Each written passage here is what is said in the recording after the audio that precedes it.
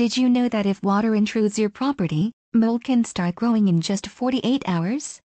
If mold growth has already affected your property, immediate mold mitigation is needed to prevent further spread and damage to the structure of your building. The first part of the mold mitigation process is finding and addressing the source of water or moisture. This ensures that once the mold is removed, it will be gone for good.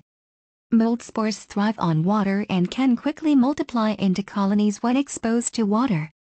Not only is this bad for your property, these colonies may also present potential health hazards for people with allergic reactions or respiratory problems. If your property has mold growth, call us today for a consultation or to find out more about our mold mitigation services.